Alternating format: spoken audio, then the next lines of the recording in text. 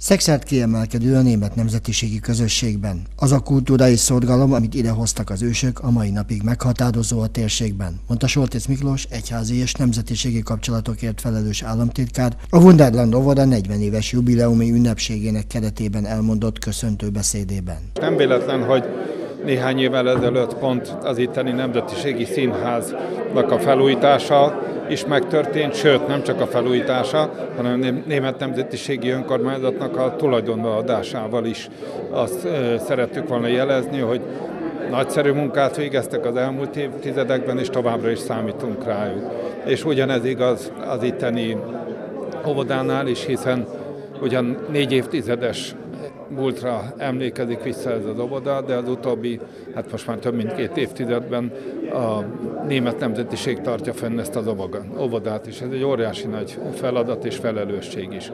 Ugyanis ezen keresztül üzenni tudtak, erőt tudtak adni más nemzetiségi óvodáknak is, legyen azok németek, legyen azok szerb, horvát, szlovák vagy más nemzetiséghez tartozóak, hogy erre óriási nagy szükség van, és ebből óriási nagy lehetőség is fakad.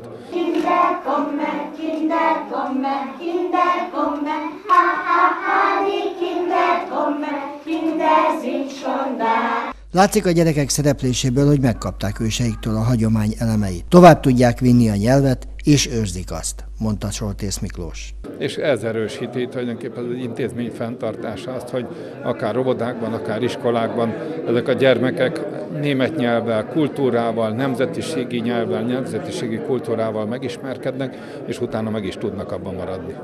A kormányzat a jövőben is a feltételeket biztosítja ezeknek az intézményeknek a fejlődéséhez, a színvonal szinten tartásához vagy emeléséhez, jelentette ki Soltész Miklós. Két évvel ezelőtt adtuk át az udvarnak a felújítását. Tavaly a Covid járvány miatt egy kisebb beruházás zajlott 15 millió forintért, azt is sikerült támogatni. Idén a fűtés korszerűsítés első üteme, ahogy most hallottam, 30 millió forintból valósult meg, és nyilván jövőre fogjuk segíteni a következő igényüket, hiszen ezek nem öncélúak, ezek azt szolgálják, hogy az itteni közösség is, hát persze az óvoda dolgozó is gyerekeken együtt olyan, olyan körülmények között legyenek, ami mindenképp 21. századi.